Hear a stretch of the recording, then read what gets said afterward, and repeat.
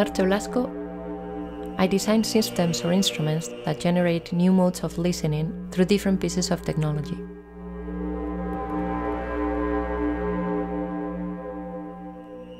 I'm working on a three act performance where, through amplified vibrations, we reflect on the ways in which we are all interconnected and the urgent need we have to listen to each other and the world. In these three acts, we start listening to the electromagnetic activity of the shed. We listen and respond to the voice of Anette, a 3D printer that I built. And finally, Act 3 is a collaboration with Miriam Parker, where we look at the human gestures and actions and their impact beyond the boundary of our skin. Together, we consider ways of shifting our gestures in relationship with our history and how we want to move forward.